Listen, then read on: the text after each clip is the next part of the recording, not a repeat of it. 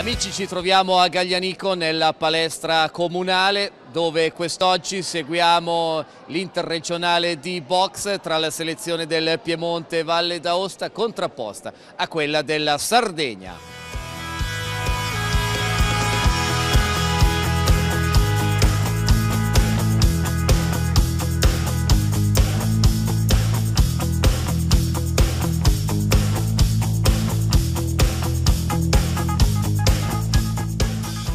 Sì, è stato positivo sotto tutti gli aspetti perché bellissime prestazioni dei ragazzi, eh, tanta gente finalmente che forse era la cosa che ci aspettavamo anche di più perché abbiamo dato la possibilità di venire a vedere la box gratis e forse abbiamo fatto il colpo giusto e i ragazzi sono andati praticamente tutti bene, un pareggio solo, gli altri hanno vinto tutti.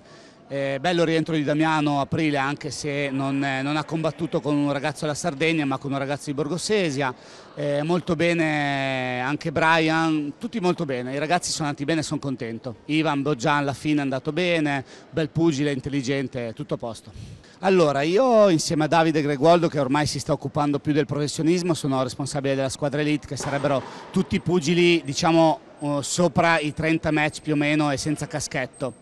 E il movimento regionale piemontese diciamo che si sta riprendendo, in realtà abbiamo vissuto anni con pugili di maggior rilievo, adesso abbiamo qualche pugile che sta crescendo, però abbiamo due o tre elementi a livello di elite di vario peso molto bravi, quindi eh, nei prossimi interregionali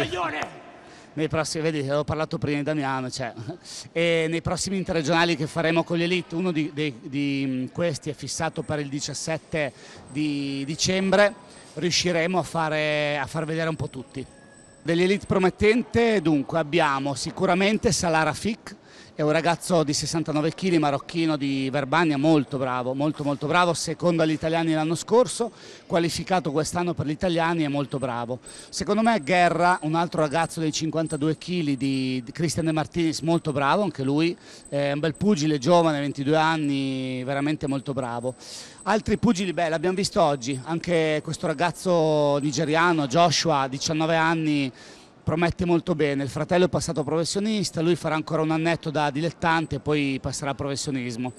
e degli altri diciamo che devono crescere. Noi abbiamo Mohamed nei 91 kg che è bravo ma purtroppo lo vedo poco, si allena poco da noi, Tarmun, anche se lui è passato negli elite nei campionati italiani a Bergamo.